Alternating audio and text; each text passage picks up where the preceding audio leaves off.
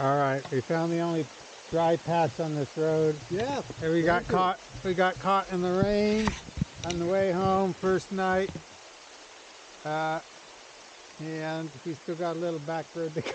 We chose to go the back road instead of the road road. and here we are.